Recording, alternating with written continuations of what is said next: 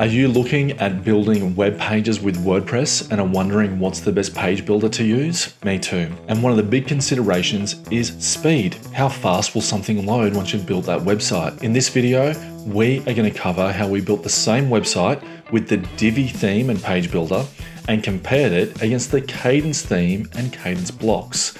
Let's see which one's faster and other considerations you might want to look at before choosing your page builder. Let's jump on in.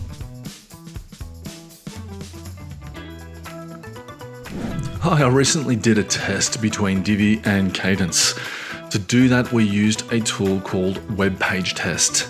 Now, Web Page Test has been my go to replacement for GT GTmetrix because I can put in my URL, run a report, and get a whole heap of different useful information to see how fast my web pages are loading. So, when it comes to how we tested, we used a client website called Moss Transport. And these guys had a website for a number of years with Divi. We took this website and rebuilt it inside Kadence so that we had a real test base. This means that most of the images are exactly the same. Most of the other plugins that are installed, like Gravity Forms and tools for their FAQ and job system, are all the same. And this gave us a great test base to be able to compare when you build a real website, what's the difference between Divi and Kadence. So when it comes to page speed, the first thing I wanted to test was the speed index. Speed index is when we tell how fast a web page feels. Just because a web page loads quicker, sometimes it feels faster depending on how things are loaded. In this case, we can see that Divi had a load page speed index of 3.967 seconds. That was double, or more than double, what Kadence WP had at 1.62 seconds, meaning that Kadence feels a lot faster than Divi. When it comes to the page size, how big was the final page size? On the top level, Divi was 1678 kilobytes, which was 200 kilobytes more well, a bit over, than Kadence WP's at 1431 kilobytes. That largely comes down to the number of JavaScript files with Divi. Divi has a lot of blocking JavaScript because it requires jQuery, and that means it has 20 files that are there. That's a lot of files compared to the five files that we have with Kadence WP. When we look at the structure of the pages, so when we compared both pages and said, okay, let's compare them in terms of total bytes loaded, what did we find? Well, when we look at Divi, we found that first of all, there was a less image weight. This meant that on our previous design, we had some slightly smaller images being used. That's not a big deal. They're not really due to the differences in the two themes themselves. That's due to the content we put in. The big ones I want to draw your attention to is the JavaScript and the CSS. When it comes to CSS, we can see that Kadence was not quite half of what Divi has, but it's close to. When it comes to the JavaScript, however, we've got almost 10 times the JavaScript for Divi compared to Kadence. Again, this is largely because of the dependency with jQuery. The other thing to point out is HTML. Kadence uses less HTML to create its designs than what Divi does. This means if you're doing SEO, Kadence has a slight edge because you get less HTML to content ratio. So when it comes to our findings, we generally found that Divi feels slower because of the high number of JavaScript files that it loads. This is largely due to the dependency of jQuery. If, however, you're looking long term, Divi is looking at launching a new version. They've been around for 16 years, and I expect them to be around for a heck of a lot more.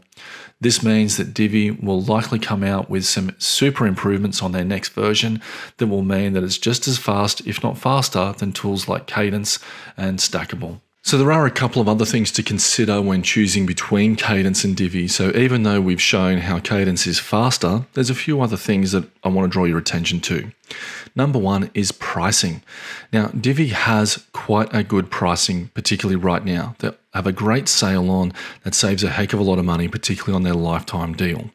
The other thing is Divi has been around for 16 years now. And that means that the tool, you know, it's going to keep going they're not going to all of a sudden abandon the project. The other thing I wanted to point out was the AI. Divi AI is significantly more powerful than Kadence AI. So, Kadence AI is very good at creating pages from scratch.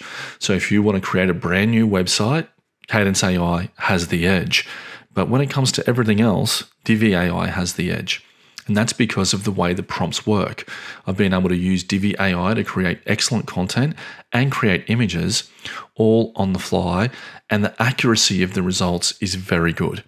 So, although Kadence has some great stuff going on with AI, it's not quite as good as what Divi is. The other thing when it comes to the price of these AIs is Kadence uses a credit system. This means that you need to top up your credits over time, whereas Divi has a flat usage price per year where it is unlimited usage. This means if you're creating a high number of sites or you have very content heavy sites, that Divi is still worth considering, particularly when it comes to the cost of generating content. The final point I wanted to raise about choosing between Divi and Kadence is that Divi doesn't have quite as large a marketplace and integration as what Kadence does. This is because Kadence is built on the block tools. So, because Kadence uses blocks, it means that tools like Yoast, uh, SEMrush, a lot of these other integrations that you want seem to work a lot better with Kadence than they do with Divi. Well, I hope you like that comparison. Remember, things are always changing, so always take a look at videos that are recent when it comes to picking a page builder for your website. In a year's time, things may have changed for Divi, and it might be the fastest page builder on the internet. In the meantime, if you like this video, please give me a thumbs up. Don't forget to subscribe to the channel. And if you have any questions about using Divi or Kadence or anything else for that matter with your WordPress website builds, you can leave a question below and I'll make a video about it. And I'll see you in the next video.